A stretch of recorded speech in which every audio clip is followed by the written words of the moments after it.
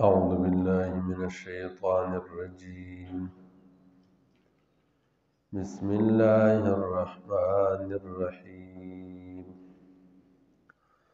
كنتم خير أمة أخرجت للناس تأمرون بالمعروف وتنهون عن المنكر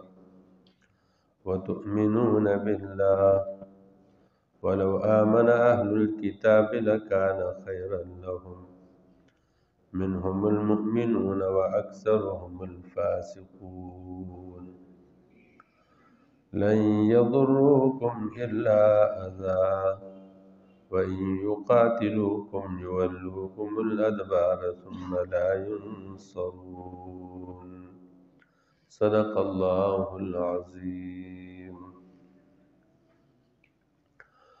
کنتم خیر امه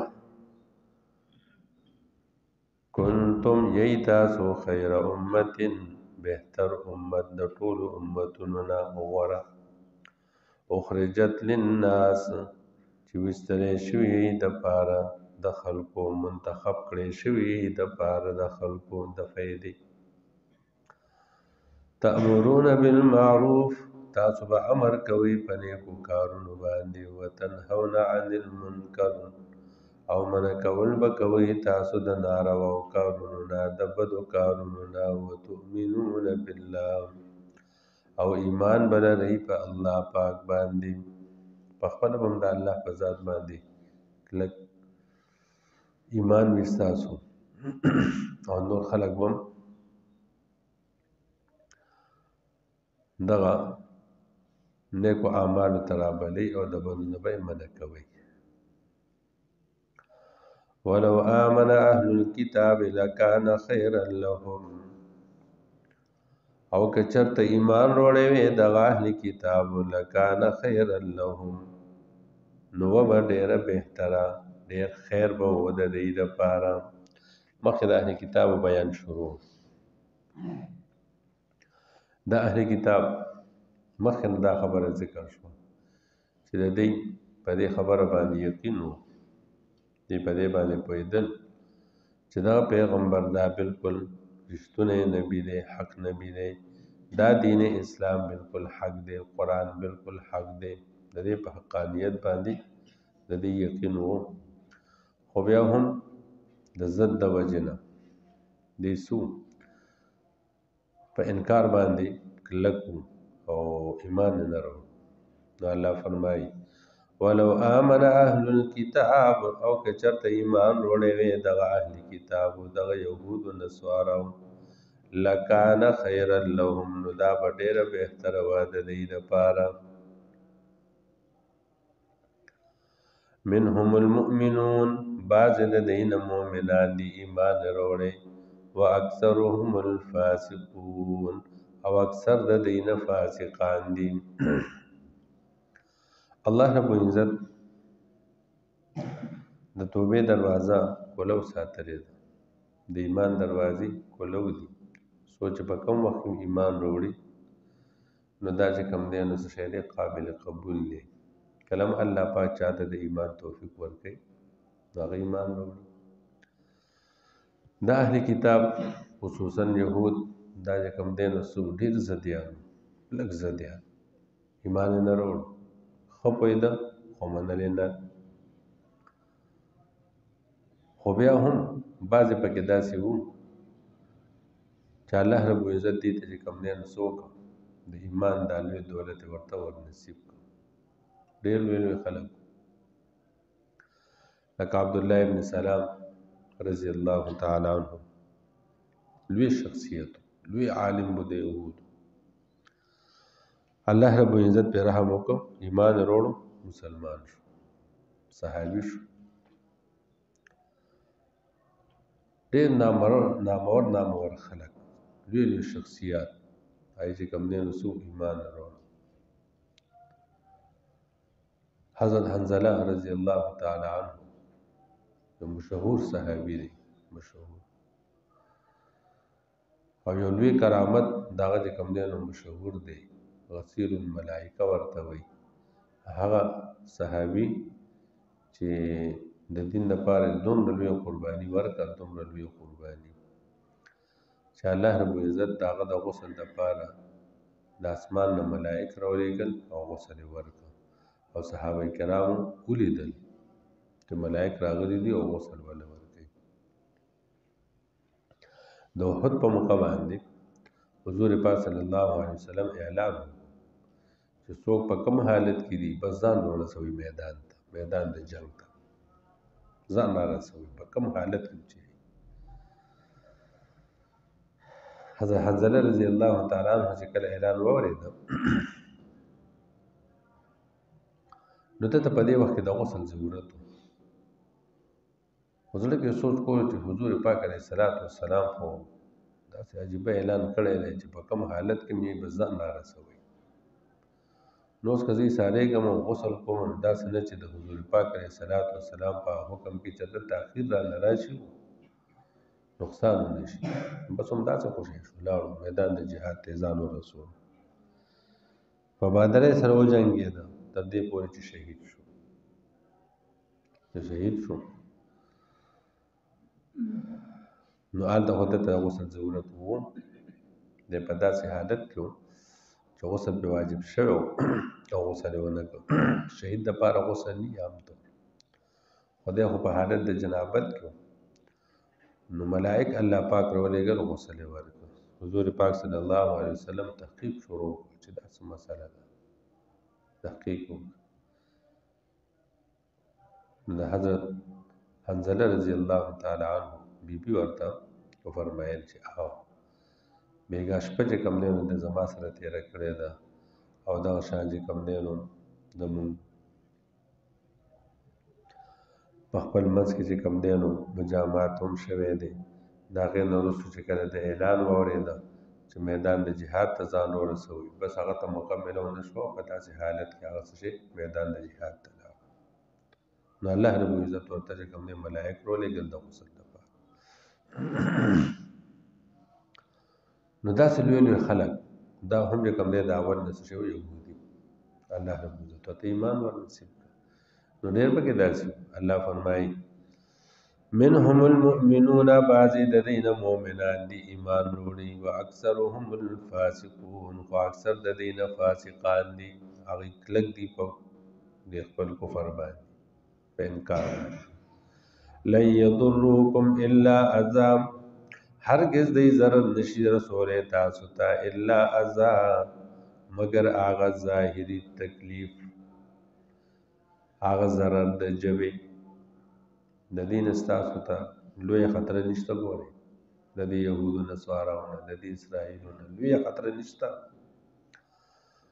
لن یضروکم دیتا او ته ضرر نشي در رسولی الا اذا مگر هغه هغه تکلیف او ضرر د جبې په خوله باندې به بدې ردې وي روانې وي جالې به وي په هغې به ستاسو زړه ته درد رسي تاسو به پرې خفه کېږئ نور د دې نه چې کوم دی ستاسو دا خطر نشته کوي چې تاسو به ختم کړي ستاسو دین ته به څه نقصان ورسي څه به وشي لوی نقصان خطر دې نه نشته وَإِن يُقَاتِلُوكُمْ او که چرته دی جنگ وکړي د تاسو سره یولوکم الادبار نو وبګرځي تاسو ته شاګانې شا بدل ته وګرځي په تیښته باندې تختی بدل دې تاسو مقابله نشي کولای ثم لا ينصرون بیا به د دوی سره هیڅ مدد ونه کړی شي هیڅوک مددګار بیا نشته دی که کله ستاسو په مقابله کې راغلم نو دا اسرائیل هیڅ شی هم نه دی ګورې اسرائیل هیڅ شی هم نه دی خو که مسلمان ورته لږ همت وکړو کنه بس دا ختم دي سم پکې نه او بس مسلمان اسی چې کم دی نو یو نوم یې دی نو اسرائیل دی اسرائیل دی اسرائیل الله فرمایي ضربت علیهم الذلہ مقرر کړی شوی دی مسلط کړی شوی دی علیهم په دې باندې الذلت ذلت دا ذلت د دی په قسمت رسیدلې دی همیشه به دی ذلیلوي اينما سقفو کم ځای کې چې وی دی کم ځای کې چې مونږ د لیکيږي دی دی چې تاسو چرتم ګورې دی به ذلیلوي خوار به وي الا بحبل من الله مگر بحبل من الله چې دی منګولې ولګي په رسۍ د الله وحبل من الناس او په رسۍ د خلکو بحبل من الله بحبل من الله مطلب دا چې د الله پر رسۍ باندې منګولې ولګي د الله رسۍ کلک ونیسي یعنی مسلمانان شي دین اسلام ونیسي قرآن ونیسي د پیغمبر سنت ونیسي په عمل سره باز دی به د ذلت نه خلاصيږي کني د دې خلاصېدل د ذلت نه نشته وحبل من الناس او پرسه د خلکو باندې رسه د خلکو مطلب یعنی د مسلمانانو هغه قوانین په ځان باندې ومني ټیکس په ځان باندې ومني چې او بس ټیک موږ ته ټیکس درکو لکه څنګه مخکې بیان تیر شوی د مسلمان ماتخ جون تیرې نو هغه به وي کني آزاد جون به دې نشي تیرولی همیشه به دې ذلیل وي آزاد جون به نشي تیرولی کنن تاسو ګوري چې اسرائیل دي او دا یو ځان یو حکومت دی ځان یو سلطنت دی دا دی دا دی نو دا هم چې کم دی نو وحبل من الناس کې داخل دي دا د بل چا په پوس پناهي کې دي کني دا په خپل جی کنه اسم نه دي دی په خپل اسم نه دا خو کوم دی نو یو یو قسم فوجي چوڼه ده دا چا د امریکا د برتانیې وغیرہ ملکونو هغه پښپناهي کوي ایو ته په سر باندې لاس خیری کني اسرائیل هیڅ شی نه دی ګوري نو الله فرمایي وا حبل من الناس او چې دې ځان کلک کی پر سه د خلکو باندې وبا او بغضب من الله وبا او وخت شوی دی دی بغضب په غضب من الله د طرف د الله نه د الله پاک د قهر او د غضب مستحق دی وضربت عليهم المسكنه وضربت او مقرر شوه دی مسلط شوه دی علیهم علیهم په دی باندې المسکنت او مسکنت رسوایی ذلت مسکنت مسکنت څه شی وی مسکنت هغه سیز دی مسکنت یو کس خدای سی وی چې هغه تا ته کوم نه کمزور ښکاری ذلیل ښکاری هغه ته خپل ځان ډېر اوچت ښکاري او مسکنه د هغه څیز ته ویلی شي چې هغه ته خپل ځان په خپله چې کم دی نو کمزوری معلومیږي مسکین ورته معلومیږي ذلیل ورته معلومیږي نو دغه ته ویل شي مسکنت دا داسې ظالمان خلک دي داسې عجیب خلک دي چې دی په خپل ځان باندې په خپل کوي بس وکړه یو ته سرخته کړی وي کړی بل ته سرخته کړی وي او داغه په ذریعہ باندې کوم نه ځان ساتي کله نور دې سم نه دي ارسبر سره وي مال حرم ور سره وي مالداریم وی خو بیا ورته ځان چې کم دینو څه شي ښکاري مسکین ښکاري دی وی بس زی سم نه ذالک بانهم دا په سبب د دې باندې بشک دی چې دی کانو د یکفرون بیاات الله چې دی په کفر کولو پایاتونو د الله باندې د الله د آیاتونو نه به یې انکار کولو، سره د دې چې ښه به پوه وو چې دا د الله آیاتونه دي، د الله احکام دي. ویقتلون ویقتلون الانبیاء بغیر حق او قتل کول به دی انبیاء کرام بغیر حق بر د حقا بغیر د جرم شرعی نه هیڅ جرم باندې ودی او دی ظالمان براتله انبیاء کرام به قتل کول مخکې بیان تیر شوی و چې دا ظالمان راپاڅېدل د انبیاء کرامو د دې واز نصیحت نه چې کله دوی ډېر تنګ شو په خپل منځ کې مشوره وکړه اتفاق وکړه راځئ د انبیا ختمو چې د دې تبلیغونو نه موږ خلاص شو بار بار راته را روان دي نو چې را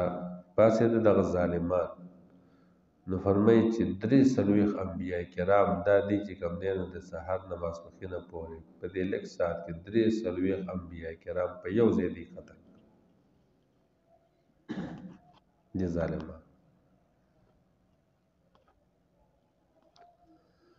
بیا د دې د مدد د پاره د دې انبیاء کرامو د مدد د پاره بعض خلک را پاسې ده د دې د نصرت د پاره دا د غي د حفاظت د پاره میدان ته راووت د ظالمانو په غي باندې شروع کا نو ایک سو ستر کسان حواریین د انبیاء کرامو ملګري مخلصین خلک دا یو کس نور قتل کړ تاسو ظالمان خلک نو الله پاک فرمایي د دې د ذلت او مسکنت دا د څه په وجه باندې دی دا د دې په وجه باندې چې دی به انبیا کرام قتل کول او د دې به نیکان خلق به قتل کول د انبیاء کرام ملګری به قتل کول دا ظالمان فرمایي ويقتلون الانبیاء او قتل کول بدی انبیاء کرام بغیر حق برد حق ذالک بما دا په سبب دا غس عصو چې و دی نا فرمانی کوونکی وکانو یعتدون او دی د حد تجاوز کوونکی د حد تیریدونکی کنتم خیر امه یی تاسو ډیر بهتر امت په ټولو امتونو کې اخرجت للناس چې وستل شوی د پاره د فائدې د خلکو تامرون بالمعروف چې تاسو به امر کوي په نیکو باندې وتنهون عن المنکر او منکول به کوي د ناروا کارونو نه وتؤمنون بالله او ایمان بللی په الله پاک باندې ولو آمن اهل الكتاب او که چرته ایمان وړی وی اهل کتاب لکان خیر لهم نو و ډیره بهتره او ډیر خیر د دی د پاره منهم المؤمنون بعض د دی نه مؤمنان دی و اکثرهم الفاسقون او اکثر د دی نه فاسقان دی لیضروکم هرگز به ضرر ونه رسي دی تاسو ته الا هذا مگر هغه ضرر ظاهری ضرر د جبه و ان یقاتلوکم او که چرته دی جنگ کی د تاسو سره یولوکم الادبار نو وبګرځي دی شاکون کی پتیخت سره ثم لا ينصرون بیا بده دی سره هیڅ مدد ونکړي شي ضربت علیهم الذله مقرر شوی دی په دې باندې ذلت اينما سقفو چرته چې مندلې کېږي دی الا بحبل من الله مگر کدی ځان کلک کی پر سید الله باندې وحبل من الناس او پر سید خلقو وباءو بغضب من الله او وخت شوی دی دی په غضب د الله وضربت علیهم المسکنه او مقرر شوی دی په دې باندې مسکنت خواري ذلت ذالک بانهم دا په سبب د دې باندې بشک دی چې دي کانو یکفرون و دې چې کفر به کولو به آیات الله پایتونو د الله ويقتلون الانبیاء او قتل کول به انبیاء کرام بغیر حق برنا حقا ذالک بما دا په سبب دا سبان دی عصو چې و دی نا فرمانی کوونکی وکانو یعتدون او و دی د حد نه تجاوز کوونکی وصلی الله تعالی علی خیر خلق محمد و علیه وصحبه ربنا ظلمنا انفسنا وان لم تغفر لنا وترحمنا